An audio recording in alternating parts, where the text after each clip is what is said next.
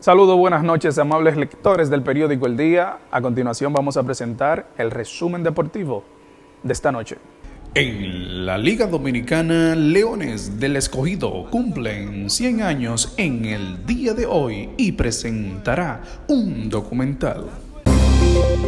En las grandes ligas, Detroit con la tarea de definir el rol de Nomar Mazara. Eloy Jiménez será el jardinero izquierdo titular de los Medias Blancas en el 2021. En el baloncesto, Damon Green manda duro mensaje a la NBA en defensa de los jugadores que son cambiados. En el tenis, Novak Djokovic y Serena van a semifinales en Australia.